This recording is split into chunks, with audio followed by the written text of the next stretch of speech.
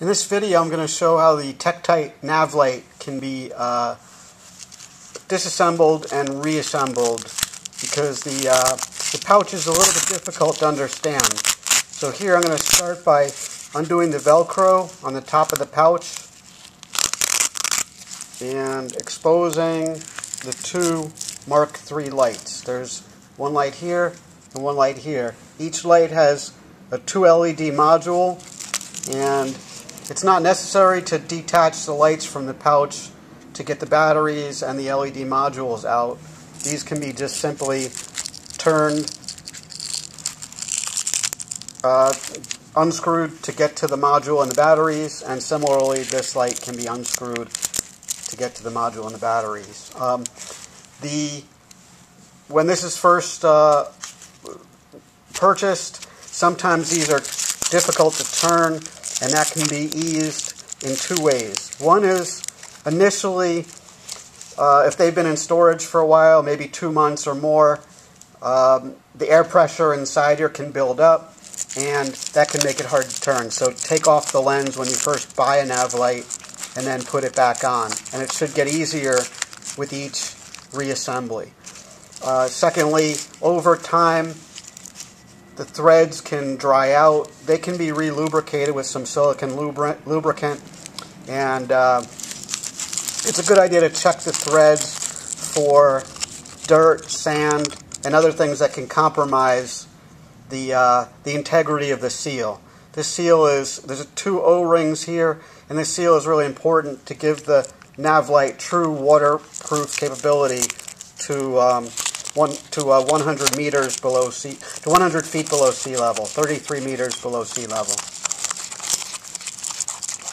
It's really a water a great waterproof package. So okay, you have two lights and there's a separator in the middle.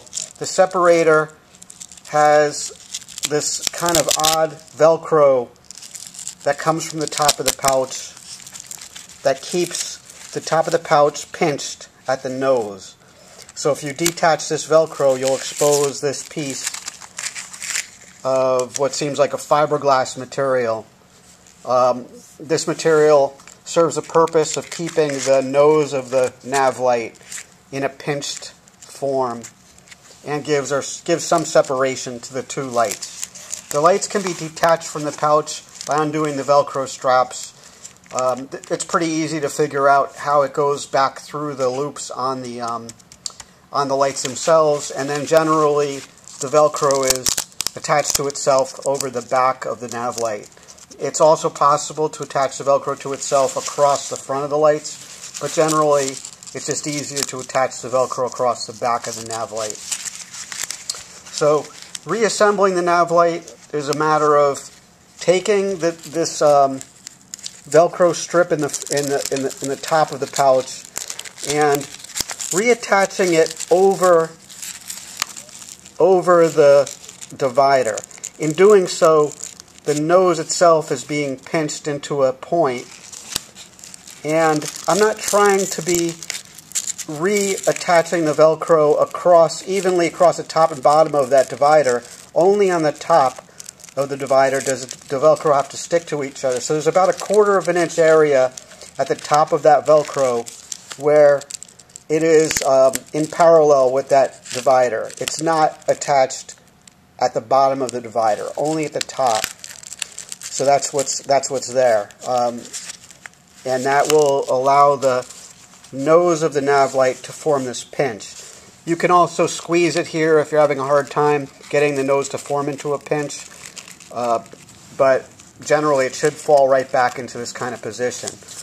So again, you take this strip, you can separate it and then reattach it in parallel to the divider, but only plan on securing the Velcro to itself at the top of the divider in about a quarter of an inch area at the top of the divider. And then this top can be folded down and the Velcro attached to the top and you're set to go. You have access to turn on the lights I'm just going to move that back in there. Check this side, it looks good.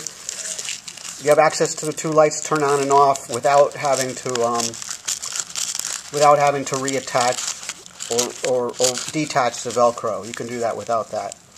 And then there are grommets on the sides and the back for securing the Navlite to, to the uh, bow of the kayak in any location. That's it.